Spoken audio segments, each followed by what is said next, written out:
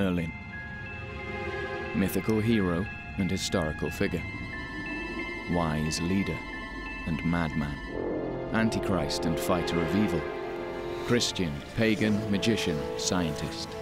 Prophet and poet. He is the person who has the magic to unlock our future. He is Gandalf. He is Dumbledore and Harry Potter. He is the advisor of Arthur and a powerful and naughty magician. This tantalizing creature dances across the centuries, still working his magic on us today through books and games and film and television. From the poetry of Tennyson to the fantasies of Tolkien and Middle-earth, his presence is inescapable. So who is Merlin? He is not human, but through magic, he carries the aspirations and desires of humanity.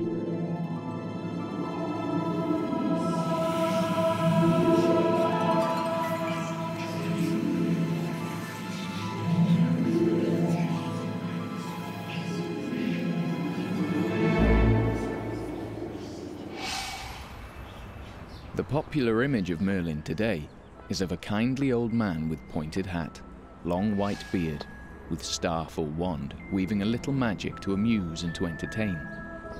But beneath the surface, there is a dark, complex, significant figure. Merlin's origins are obviously buried deep in mythology and folklore, but he makes himself visible to us for the first time in an obscure 12th century book, The History of the Kings of Britain, written by a little known clergyman. And so, the fictional legend begins. Merlin first appears in a work by Geoffrey of Monmouth. Geoffrey of Monmouth was a historian, part Welsh historian, and Geoffrey's purpose was to create a myth for the new Anglo Norman aristocracy. Because, of course, they'd left France, they had to justify why they were here and why they were conquering this new country.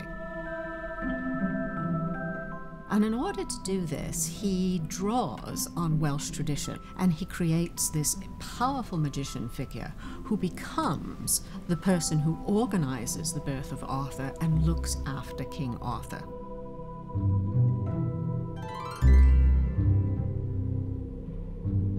He's not a real person, he is a fiction in Geoffrey of Monmouth's mind. He fuses two characters together. One of them is the wonder child Ambrosius, the other is the bard Myrddin Wyllt, And Geoffrey simply says that there was a character called Merlinus Ambrosius, and suddenly you have Merlin.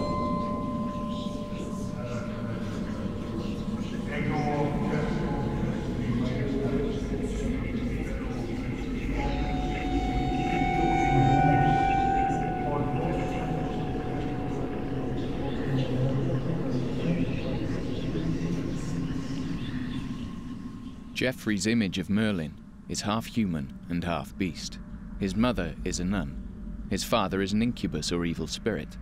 Together they create a magical wonder child, Merlin. Young Merlin quickly applies his magical powers in a legend that's been famous across the centuries in Wales. It tells of dragons beneath a castle tower that keeps collapsing. They fight, the red dragon seems as if it's going to be defeated and then succeeds.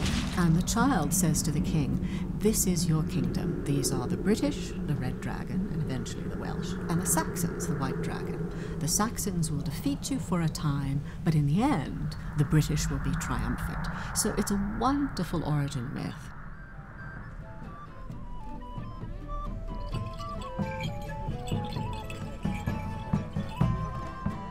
Merlin is a link with ancient times.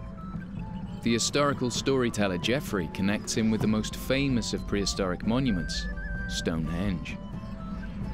In order to establish Merlin's true credentials, Geoffrey creates a myth of a great battle, in which the most famous British general is killed. Merlin is asked to fashion a fitting memorial in the hero's honor.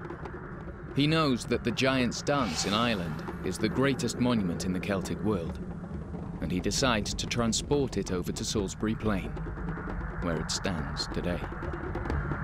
Geoffrey doesn't say Merlin did this by magic.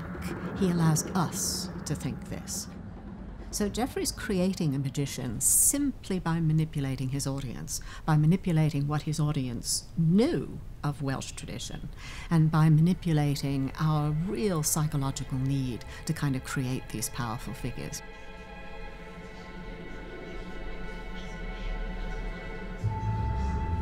Geoffrey used many sources when compiling his history of the kings of Britain, but one of the most important was an iconic manuscript of Welsh language poetry called the Black Book of Carmarthen. It is one of the National Library of Wales's most treasured possessions and is the rarest book of Welsh poetry in existence. In it, we find our ancient Merlin.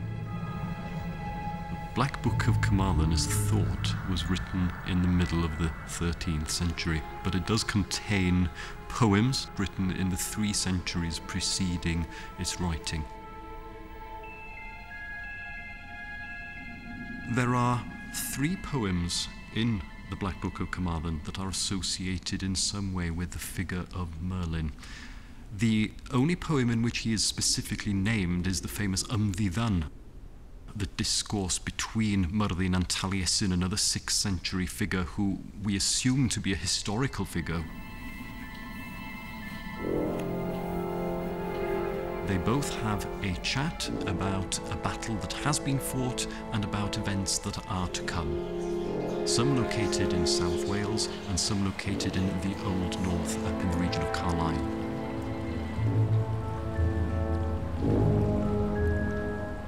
Poems are Yr Oiannau, where Myrddin, the figure from the Old North, addresses a pig, and the Avallenau, in which he addresses apple trees. He has obviously lost his mind following a battle, and you have a series of prophetic visions in which he foretells events that belong to a far later period, the period of the 11th century in Wales.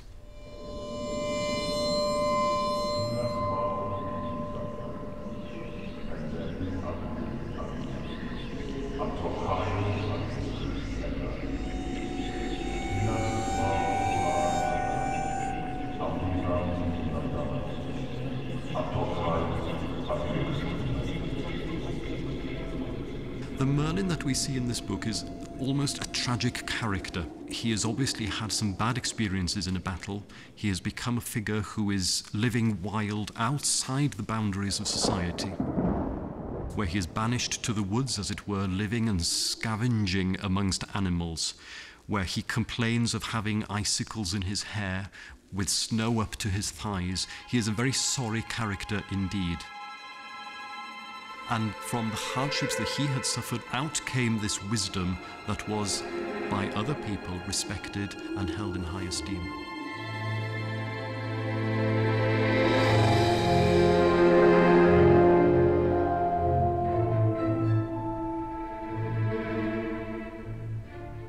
I think the idea of a man endowed with the ability to prophesy, living in wild places, a wild man in a wild place, is really part of the mythology of every country on earth.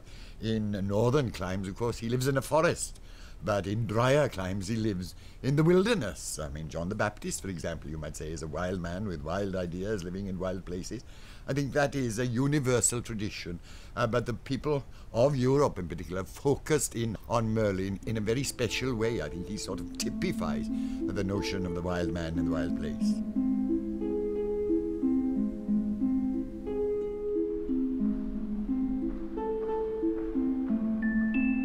Interesting about this wild figure is that he seems to go into frenzy. And something which other people noticed and talked about these characters, these Welsh poets, who became taken over by something called awen, um, which is poetic frenzy, is, is as good a translation as any.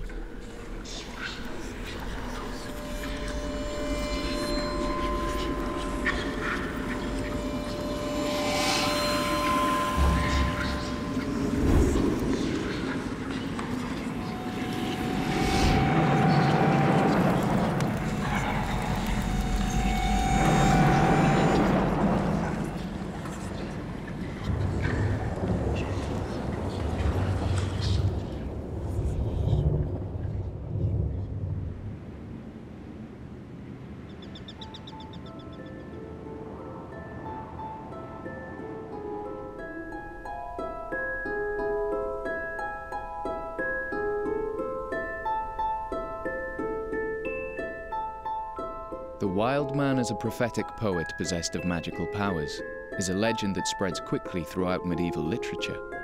And soon, a very familiar image of Merlin starts to appear. We start to see images of Merlin in the 13th, 14th century manuscripts, illustrations which we have and we often see in books beautifully reproduced as if they're paintings hanging on a wall. They're not, of course, they're often very tiny, and they're illustrations integrated into a text. But within them, one immediately notices the universality of the figure, almost always old, bearded, uh, with a long gown, a sort of uh, medieval hoodie, if you like.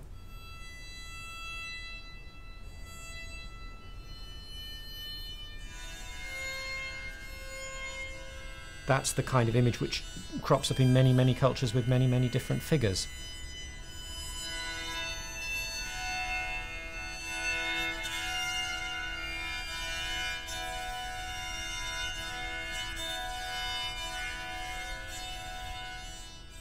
Now Merlin is a figure that travels. And like the British tales, he gets exported throughout the French and Norman world. Soon he inhabits the imagination of mainstream Christian Europe. The stories of Merlin's life, the sort of expanded stories of Merlin's life, actually appear in French language romances. So Merlin is no longer just a Welsh figure, a local figure. He's suddenly becoming a pan European figure, and then he becomes the subject of his own story, the Suite de Merlin or the Histoire de Merlin. Ainsi, l'enfant est né. Passez le bébé hors de la fenêtre de sorte qu'il puisse être baptisé. Je veux l'appeler après mon père. Ainsi, le bébé était Merlin baptisé. And in it, you have Merlin given a, a, complete biography. Merlin's birth story becomes very much more elaborated. And one of the things which emerges, I think, in the French tradition is the complication of dealing with what is uh, essentially a, a pagan tradition in a Christian context. So you have the idea at the birth of Merlin that he's instantly baptized and he's drawn into that Christian tradition.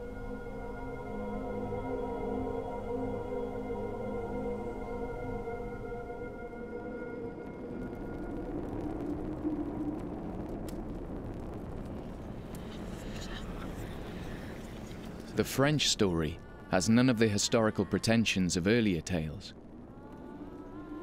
It is now high romance, driven by love and lust.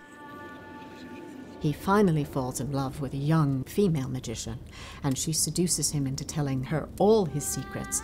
And after she learns all his secrets, she shuts him up in a cave. Sometimes it's a glass cave, and Merlin is not dead, but kind of in hiding for all eternity.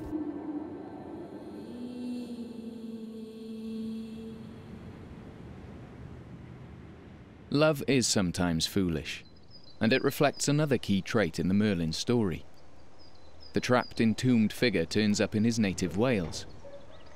Here he is still a legend, and his magical attraction has never gone away. Merlin was born in Carmarthen, and according to the legend then, he had a cave on the hill there somewhere. That is where he lived, and apparently it is also his tomb. We can't see it, it's been lost in time somewhere, because according to the legend, the cave was sealed up at that time, only going back 1500 years. And obviously it must have grassed over and is now completely lost. We do get quite a few people walking up dressed up as Merlin. Probably frighten the sheep on the top as well. they will kiss the earth that they believe he walked on. They feel so strongly that Merlin had guided them to this place. Which perhaps we think a bit strange, but that is their beliefs. We're all entitled to our beliefs.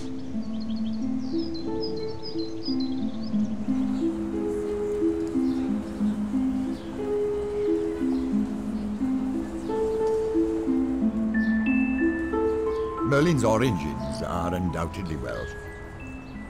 The desire to sort of place him in Carmarthen, uh, Myrddin Caerfyrddin, is really a misinterpretation of a place name, though I gather around Carmarthen now people are doing quite well out of that. What do you drink, chemistry? Did you blow anything up? Magic stuff. Yeah. But you know, the name Carmarthen comes from Môr, the Welsh for sea, and Din, uh, the old Welsh word for city or fort.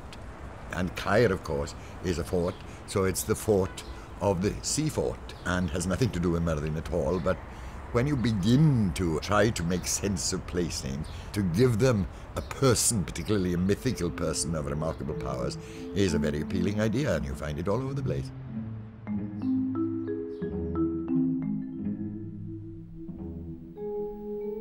This chunk of wood, well, this is one of the fragments of the Carmarthen oak, uh, which was a famous landmark in Carmarthen for a couple of hundred years.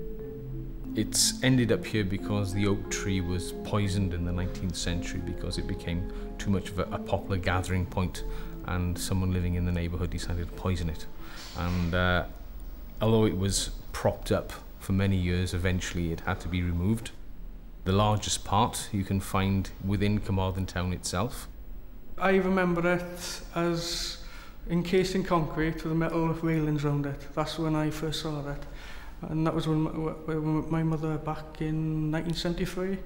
Eventually, it was uh, removed from there and brought, brought here, and this is where I've seen it since. There is a story that Merlin says that when Carmarthen's oak shall tumble down, then shall fall Carmarthen town. And it's for that very reason that we don't have the whole oak here in the museum in Abergwili, because the good townspeople of Carmarthen were fearful that the, the worst would happen to the town if uh, everything came here to Abergwili. I think for some people it's a bit of a pilgrimage. Many, many people, particularly from the States, they, they're very inspired, I think, by Merlin and Arthur. And they know about Carmarthen and, and the links with the magician. Merlin the magician is constantly shapeshifting, constantly changing, adapting to answer the political and cultural needs of the age. The Tudors, when they come to power in 1485, bring Merlin in from the rugged wild and into the royal court. The stories of companionship of Merlin and Arthur are used to unite the troubled kingdom. This time, the legend is retold by Sir Thomas Malory and his magisterial work, Le Morte d'Arthur. The world of Malory's Morte d'Arthur sort of exists on the cusp of the modern world. And I think this is very significant for Merlin and the direction that Merlin takes. Because within this modern world, there's always a desire for the certainties of the world that was left behind you get this hunger, is really not too strong a word for it, for the certainties of the world that came before. And Merlin, in many ways, represents these certainties a world where magic is possible, in which wisdom is possible, in which there is a connection to the natural world. But he's particularly important as the advisor to Arthur.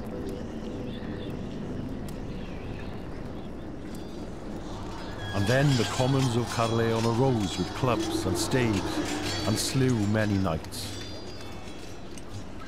But all the kings held out together with their knights that were left alive, and so fled and departed. And Merlin came unto Arthur and counselled him to follow them no further.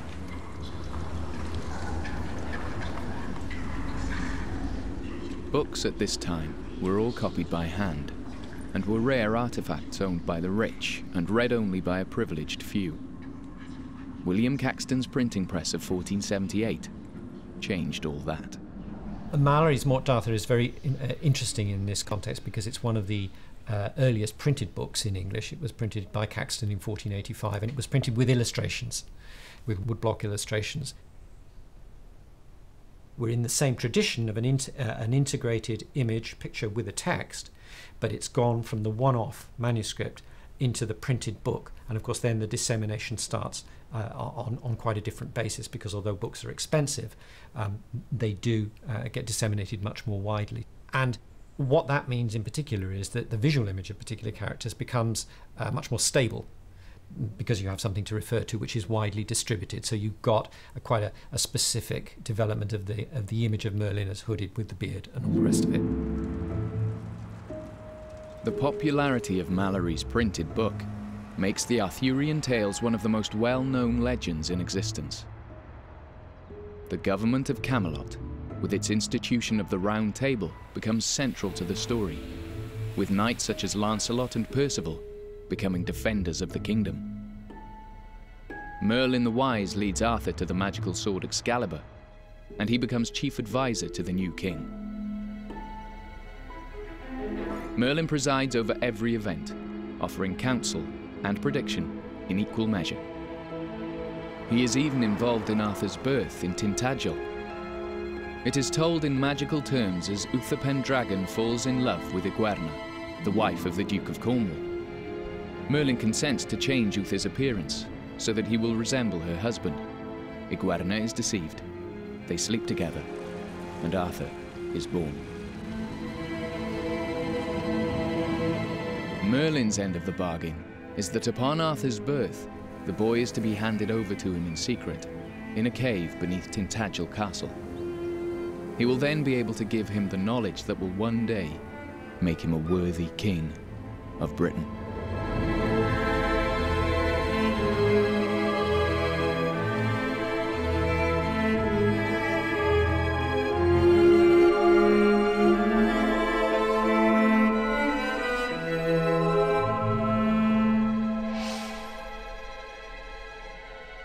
Course, the Merlin legend can never stand still. It's too fertile to get fixed in a particular image or role, and the wise sage's magical powers begin to grip the imagination of the Tudor dynasty.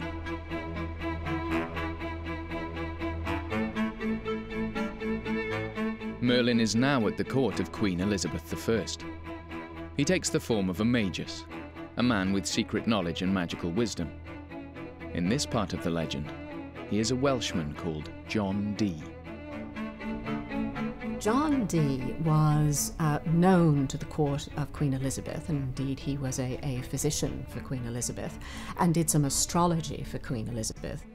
You get this idea of Merlin the magician he becomes much, much more of a magician. And he's taken up with this idea of, of magic, particularly ritual magic. Now, ritual magic is essentially magic of an intellectual and literate kind. And certainly in the Renaissance, there was a great deal of interest in ritual magic, uh, searching for hidden treasure, searching for the meaning of life. For many, again, it was a very, very, very sophisticated kind of magic. And Merlin becomes one of the figures associated with that. This is the age of Shakespeare's Prospero and Marlowe's Dr. Faustus. It's the age of alchemy and the occult, the pursuit of turning base metal into gold. It's the Renaissance when science and magic go hand in hand. And John Dee looks to Merlin for inspiration in his mysterious writings. And we certainly have a number of books that John Dee wrote in this curious, curious language because he felt that he was communicating with angelic presences. And this was all the, what this ritual magic was, was like. It was kind of accessing something beyond the human.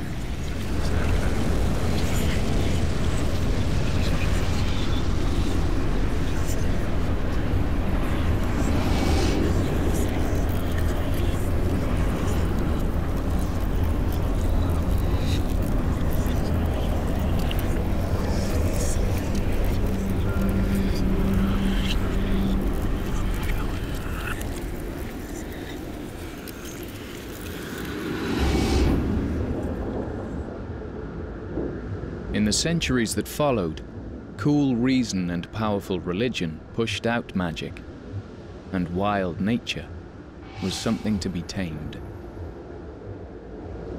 In the early 18th century, the sort of classical period, uh, the very urbane writing, uh, wild places were considered to be disgusting. In fact, there are descriptions of people going through mountains and drawing down the curtains of their coach lest their sensibility should be injured by seeing such uncouth places. But as the 18th century progresses, you get particularly artists delighting in wild places.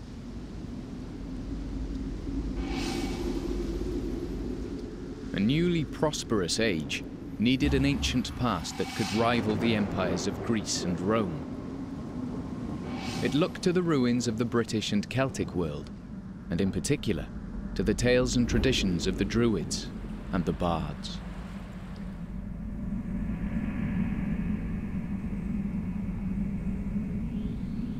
In the 17th century, and especially then through the 18th century, you get the antiquarian movement growing,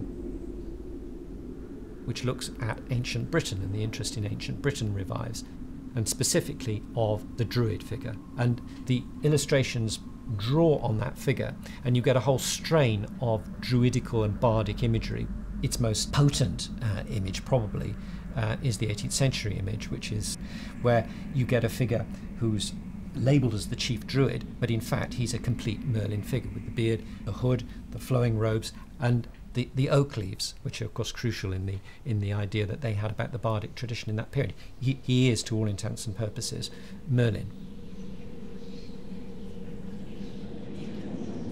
Mountainous Wales becomes a significant landscape in the British imagination. It was known as a place where poets mattered carrying the memory of the nation. One image had huge impact. The suicide of a lone bard who defied the invading armies of Edward I when he defeated the Welsh and slaughtered their poets. On a rock, whose haughty brow frowns o'er old Conway's foaming flood, robed in a sable garb of woe, with haggard eyes the poet stood. Loose his beard and hoary hair streamed like a meteor to the troubled air. O'er thee, O king, their hundred arms they wave, revenge on thee in hoarser murmurs breath. Vocal no more, since Cambria's fatal day, to high-born harp or soft Llewellyn's lay.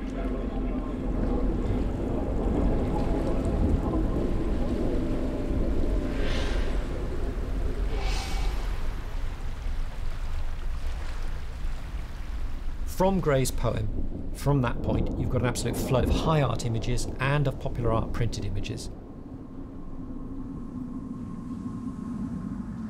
There's a particularly, I think, potent image which has not really been noticed much by art historians, which was made in the early 1760s by Richard Wilson. It's a picture called Solitude. You've got a, a picture of a druidic figures, uh, one figure in particular, the standard figure, the, the hooded figure, the, the beard, the staff. You've got druidical mysteries going on in the background.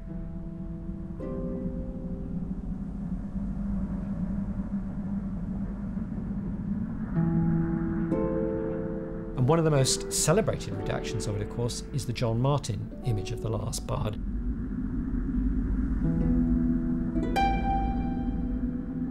John Martin was fascinated by ap apocalyptic imagery of all sorts.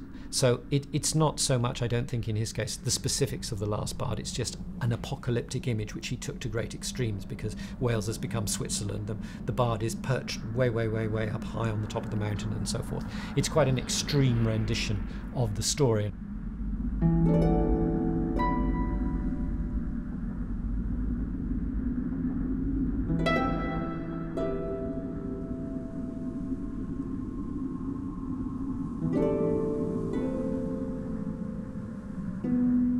Which we tend to think of now is Thomas Jones's The Bard of 1777, which is an extraordinarily powerful image and a beautiful image.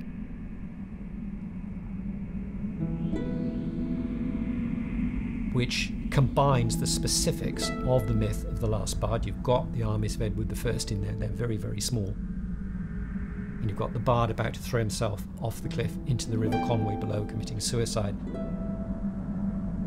But you've also got very prominently displayed Stonehenge in there. And Thomas Jones had just, in fact, visited Stonehenge. He'd gone down from London, where he lived, to, to have a look at Stonehenge. So it's a very specific reference to the British bardic tradition.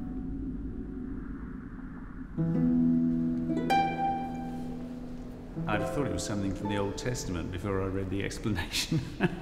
It's got a sort of religious feel about it, hasn't it? Something apo- apocalyptic from the. Uh, Especially Old the way Testament. he's lit up. Oh, do you get the light on Welsh hills like that? Uh, yeah. So that's uh, yeah. That's identifies it too. It's kind of dramatic how it's focused on the one person. Um, yeah, it reminds me of Merlin, some sort of wizard.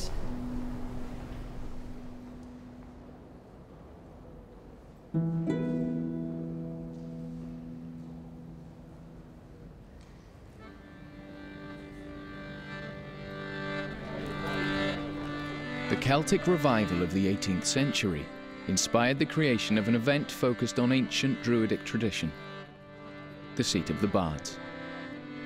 The Eisteddfod was established, and today it is still a place for bards, druids, and poets with their staffs, flowing robes, and garlands of oak leaves. The mysticism and defiant spirit of Merlin looks like it's still alive and well. My role is the archdruid. I write a great deal of poetry myself, and um, I am uh, I am reckoned in my locality uh, to be somewhat of a mystic, because if somebody wants a poem to celebrate or in memory or something, they will come to me, because it, it is still found in, in Wales that they think you have some sort of mystic quality.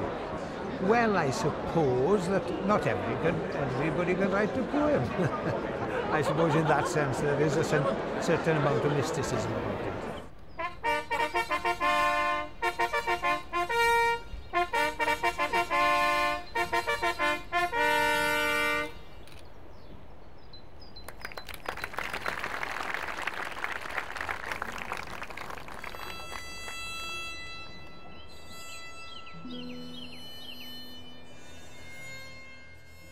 Medieval fantasies also coloured the imagination of the 19th century.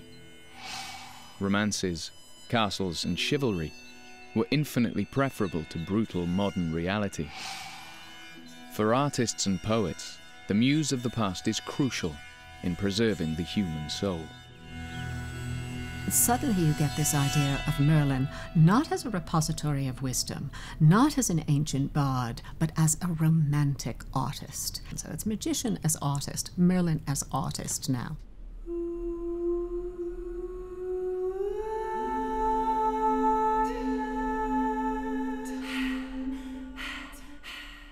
Alfred Lord Tennyson's famous retelling of the Arthurian legends creates a Merlin that is the symbol for the suffering artist.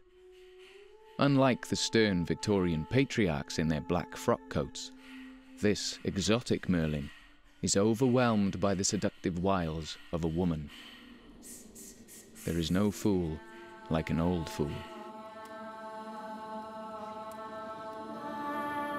A storm was coming, but the winds were still, and in the wild woods of Broceliande, before an oak so hollow, huge, and old it looked a tower of ivied masonwork. At Merlin's feet, the wily Vivien lay.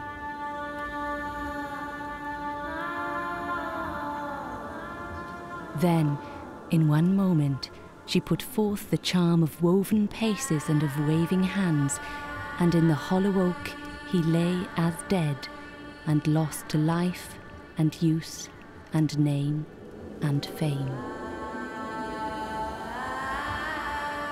Then crying, I have made his glory mine, and shrieking out, O fool!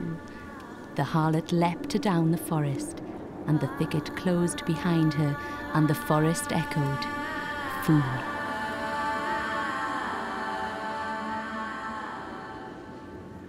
Perfect for the 19th century because you get these strong gender polarities.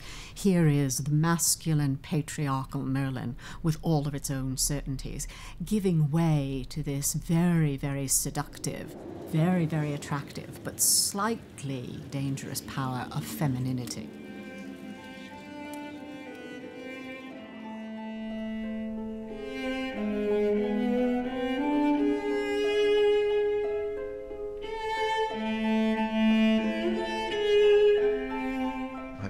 Always been drawn to the character, and I first started reading in my childhood, reading the Arthurian legends.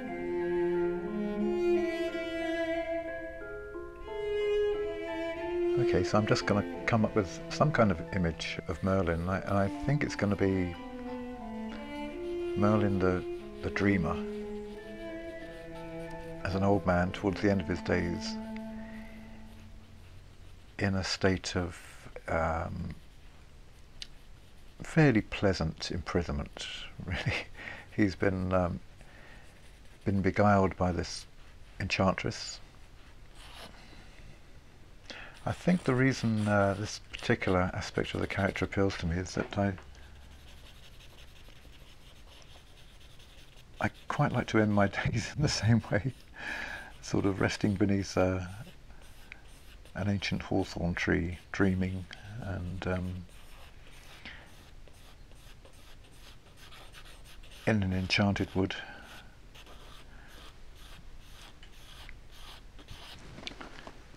With the, the occasional visit from a young enchantress. The artist invents a Merlin that carries his own dream world within. In the 19th century, the Pre Raphaelite painters made Merlin and his medieval world into a version of their own lives.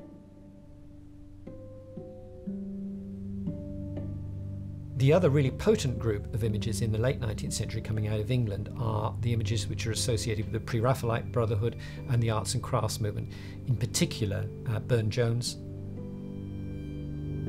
There are several Burne Jones images which became um, particularly uh, familiar the very famous image of the uh, beguiling of Merlin. There, the Merlin figure doesn't look like Merlin at all. He's a, a young man uh, uh, uh infatuated with a woman. Well, of course he is, because he's Burne Jones. And Burne Jones is using the Arthurian narrative to make his own point about his own life there. That's how, that's how the painting is usually read, anyway.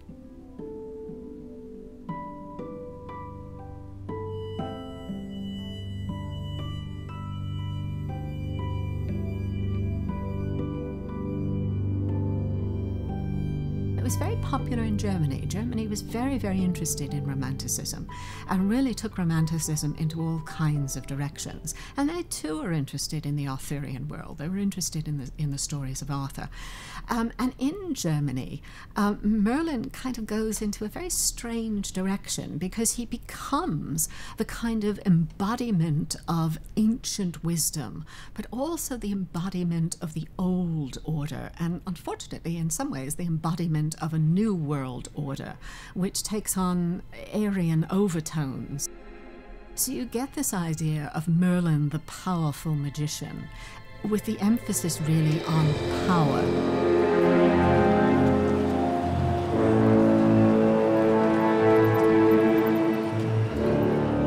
Disturbingly, powerful Merlin was perfect for Nazi purposes. Knights in gleaming armor riding through the German forests were an iconic image for national identity. The old stories gave a gloss of tradition to the brutalities of the Third Reich's aspirations and atrocities. Himmler and the Knights of the SS wanted the Nazi state's spiritual and ideological center to be the historic Wewelsburg Castle. At its core would be a round table, inspired by the Arthurian legends. Himmler saw himself as a Merlin-type figure that would advise his king, the Fuhrer. It's kind of Himmler's personal view of nature as power and the Arthurian world as a stable world in which these kind of, you know, Teutonic Nazi knights could operate.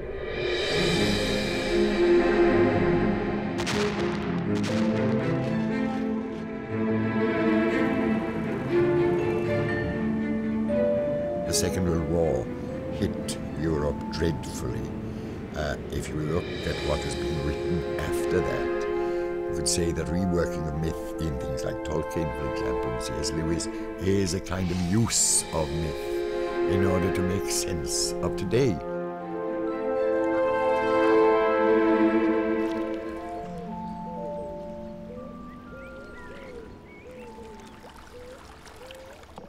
Fantasy writers like C.S. Lewis and J.R.R. Tolkien, drew on the complex associations of Merlin to wage a literary war against the totalitarian horror of Nazi Germany. Merlin the Wizard becomes a fighter in the battle of good versus evil.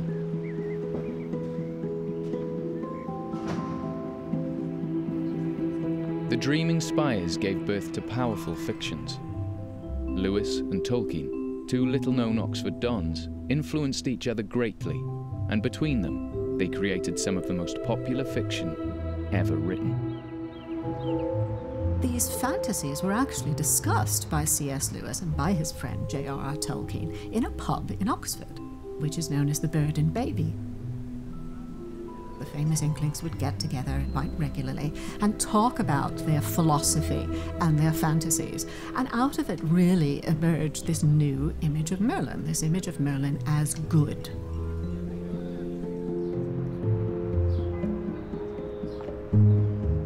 For Lewis, the good is divine and will always win. We see this in the last of his fantasy trilogy, The Hideous Strength, where soulless industrialists try to take over Oxford.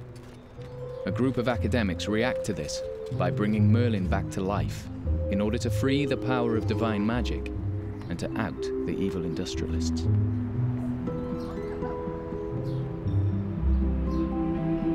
Tolkien took a very different track. J.R.R. Tolkien uh, Merlin isn't actually called Merlin, it's called Gandalf. Um, and for Tolkien, we're not talking about the divine here, we're in a quite different kind of world. Gandalf is almost a classical image of Merlin in that he is the advisor. He advises the other the other members of the fellowship, particularly the little hobbits. So it's almost as if you have Merlin and the baby Arthur again, which Tolkien was very very attracted to. Um, and here is this figure of Gandalf, who now looks like all of the elements of Merlin we've seen developing over the ages.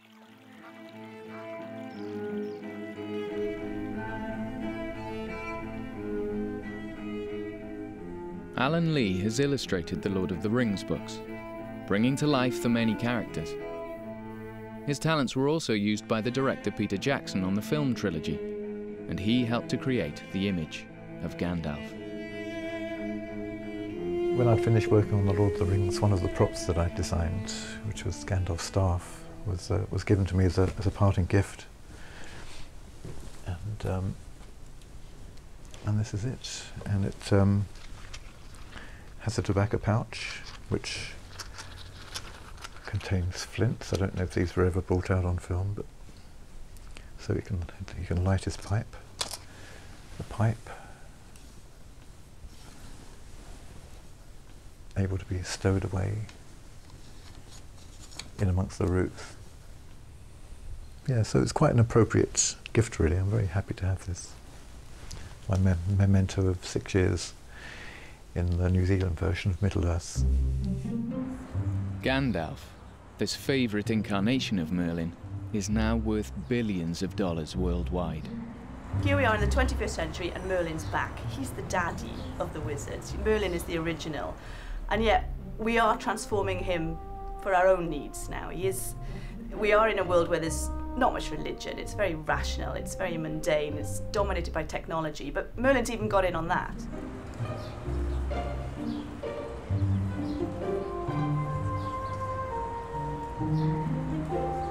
Our modern Merlin is now a valuable commodity. He is a creature of contemporary culture, turning up in film, television, video games, trinkets, and tat. So Merlin has now become really coinage in modern culture. It's a modern figure which speaks to everyone uh, because you find him in Harry Potter, uh, both in Dumbledore and in Harry Potter himself. Suddenly, you know, children can do what all children want to do, which is be magicians themselves.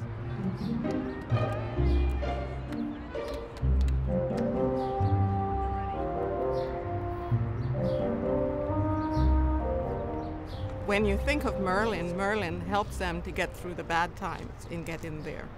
And so without magic, you really cannot overcome some of the terrible feelings you have and get through to reach the goals that you want.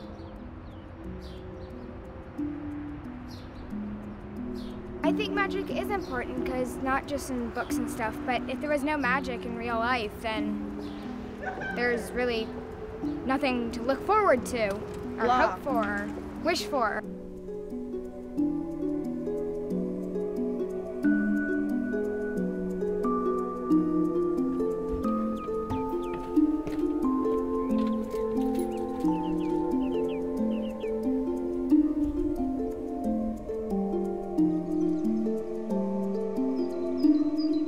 I see films and I see people book, writing books and stories or anything to do with Merlin, I think, here comes another one. Here comes another one. It's endless. It, shall I read it? Shall I watch it? It's endless, but it's good stuff. It just makes me laugh uh, because I'm here, right in front of them, under their noses.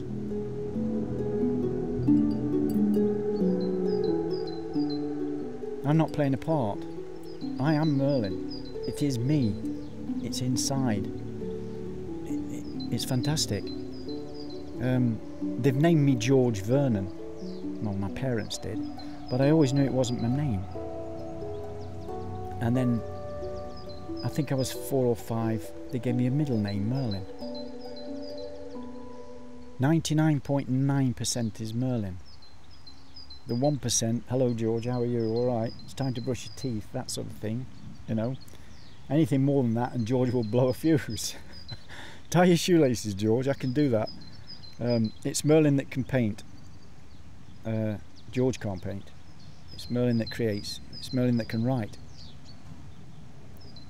So that's the creative energy, is the Merlin.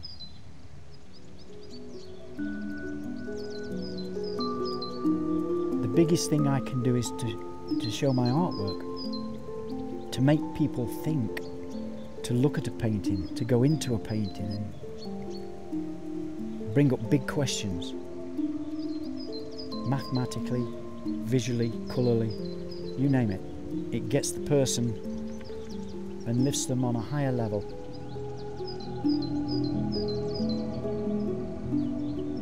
Oh, the energy's there, it'll go on and on. I'm not immortal in the sense that I'm, I'm flesh and blood, right? The, the spirit will, will go somewhere else.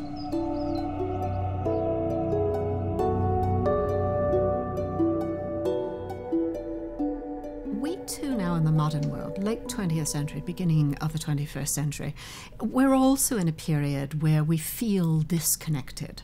Uh, particularly, we feel disconnected from nature, we feel disconnected from government, disconnected even from society.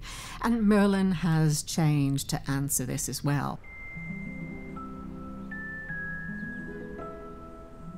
The Merlin we need to help us connect with a sometimes confusing and bewildering world is the Merlin of nature, of earth and fire, and of an ancient knowledge.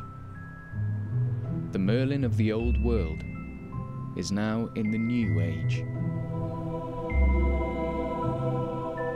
You can call it New Age if you like, but there are many people now who are much more open-minded about, um, should we say, the, the power of nature, and that power we, have in ourselves, and the power of prophecy. It seems to be we're coming to a certain time now where there's a lot of prophecies coinciding with this particular time. So Merlin's prophecies have a, have a relevance today because it's rooted in a Celtic belief that whole life, all of life is a circle, a great circle.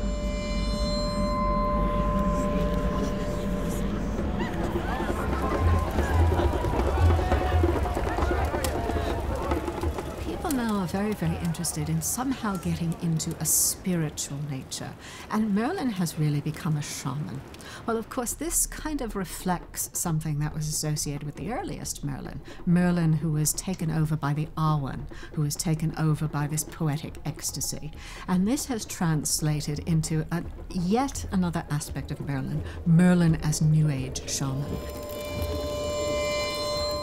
And this is certainly in the 21st century the most widely known image of Merlin.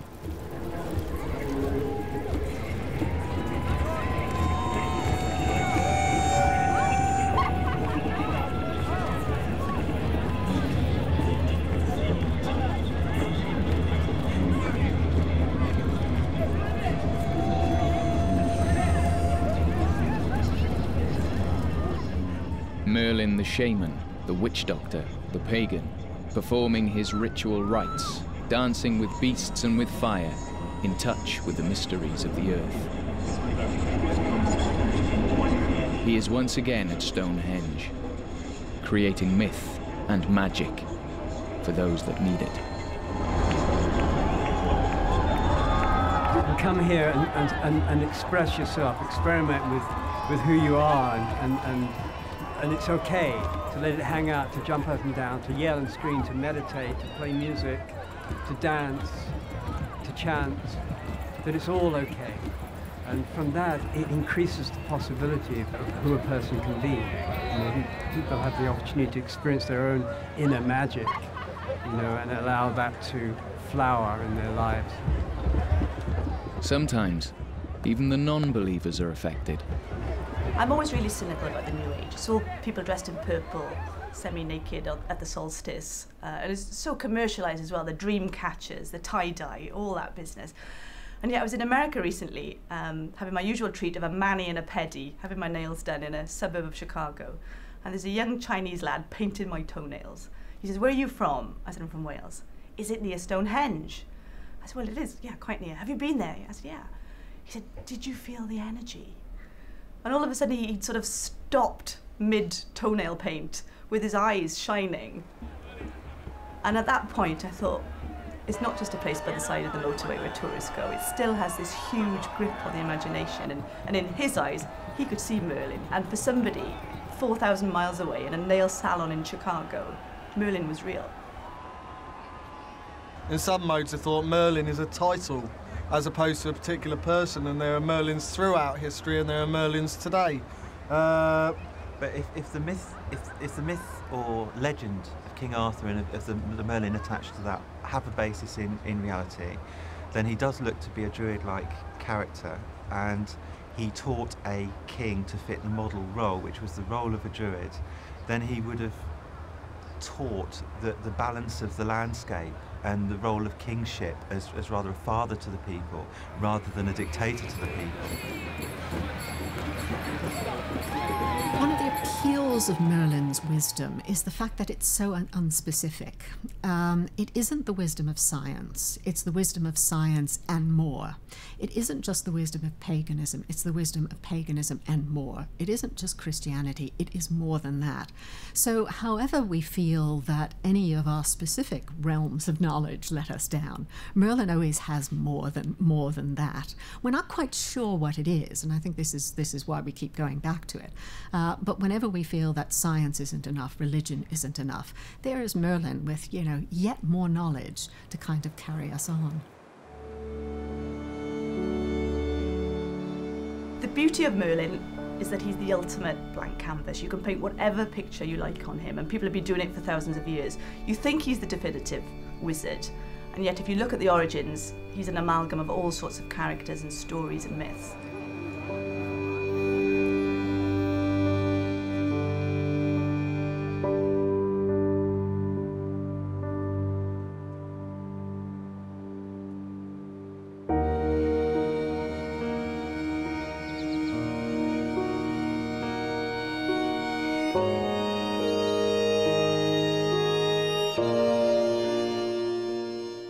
Come full circle to the land of fiction and to Monmouthshire, where Geoffrey first penned his story, and to Merlin, a character of the imagination reincarnated over the ages in his many forms.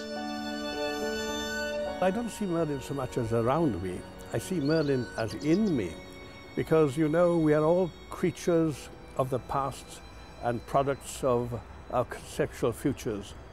And Merlin was such a wise man, such a varied man, so many interesting facets, fascination that I have in the fantasies that people have of Merlin. Well, this is in many ways extraordinary because it illustrates, again, part of the Merlin concept. It brings us back to the early druidic phenomenon, you know, the oak trees, and this is a bowl of oak, for example, and the face of paganism uh, life-loving, lip-licking uh, excitement and joy and merriment. Merlin as an old man. a rather debilitated gerontocrat living in uh, Camelot, in the court, and deeply smitten, smoten in love with the strange, wicked little nymphette called Morgan Le Fay, who's uh, in the castle half-sister of King Arthur. And there you can see Morgan in his lap, Merlin, the old man, deeply in love. Morgan, in her wiles, in her childhood wiles, has him by the beard, and he's trapped by her. And in fact, when he consummates his love for her in exchange for knowledge that he gave her, she turns herself into an oak tree and buries him forever, as well he deserves to be.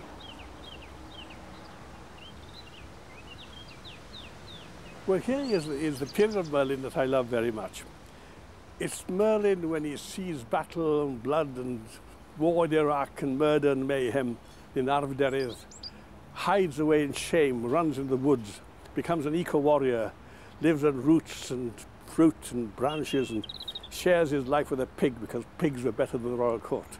He was, in fact, an early communist who um, abandoned all luxury, all uh, conspicuous consumption, and became a man of the woods, a proper hero figure for today.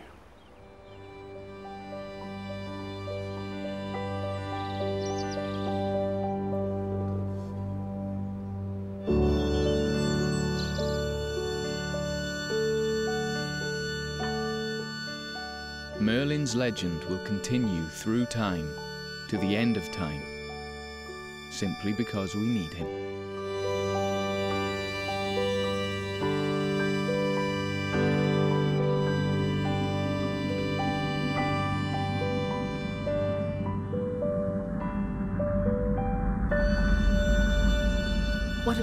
Us to Merlin is the fact that he is undying. He is this kind of universal, eternal figure. He is this figure of legend. He's this figure of myth. And it's that which allows him to change as we need him to change.